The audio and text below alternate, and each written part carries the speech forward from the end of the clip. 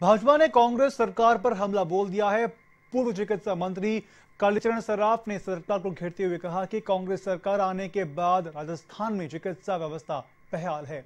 सरकार ने आघोषित रूप से भमाशा योजना को बंद कर दिया है, जिससे गरीब तबके के लोगों पर आर्थिक भार पड़ रहा है।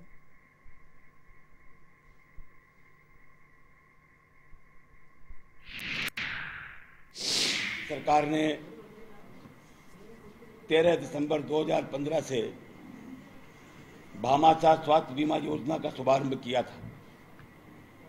और योजना में प्रदेश के लगभग दो तिहाई लोगों को, दो तिहाई परिवारों को साधारण बीमारी में तीस हज़ार और गंभीर बीमारी में तीन लाख रुपए तक के इलाज की सुविधा प्रदान की थी। और तीन साल में आपने देखा होगा कि 1300 करोड़ रुपए की राशि सरकार ने इस पे व्यय की और प्रदेश में लगभग 21 लाख लोग देश और दुनिया की हर छोटी बड़ी खबर के लिए सब्सक्राइब करें एवन टीवी न्यूज़ साथ ही बेल आइकन को प्रेस करें ताकि आप पा सकें ताज़ा खबरों की नोटिफिकेशन